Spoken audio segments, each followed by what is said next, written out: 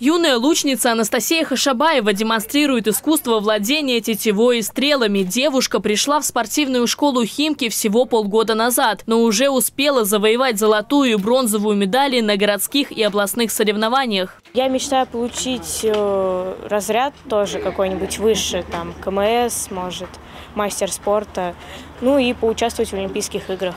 Поучаствовать в соревнованиях высшего разряда – мечта вполне осуществимая, говорят именитые паралимпийцы, которых пригласили на лукодром спортшколы организаторы мероприятия. Нужны лишь целеустремленность и упорство. Обладательница бронзы Паралимпийских игр в Токио Елена Крутова рассказала о накале борьбы во время проведения Кубка России, серебряным призером которого она стала в этом году. У нас был очень напряженный финал. Скажу, что ну, мы, финал мы стреляем 5 серий. Перед последней серией у нас с моей соперницей было одинаковое количество очков.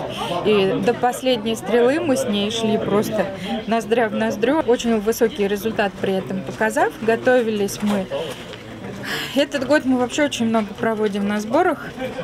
Очень много. Тренирует лучников с особенностями здоровья вот уже два десятка лет. Мастер спорта международного класса Булат Санданов. Именно он разработал уникальные методики, благодаря которым российские паралимпийцы занимают призовые места на международных и отечественных соревнованиях.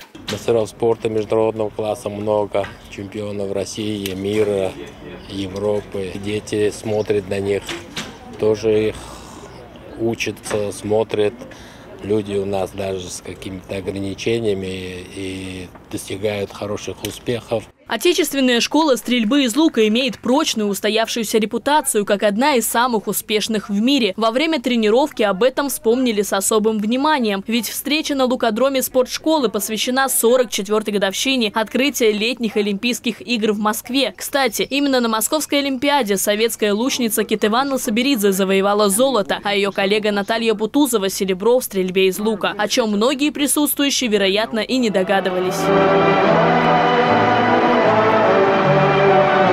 Чтобы заполнить некие пробелы, да, мы вот в составе э, депутатов, в составе наших вот руководителей управления, руководителей школ, неважно любых, там спортивных, образовательных, э, пытаемся вам донести о том, чтобы вы не забыли После содержательного рассказа о Московской Олимпиаде тренировка юных лучников и паралимпийцев продолжилась. Впереди у химкинских спортсменов чемпионат России, который состоится уже в сентябре.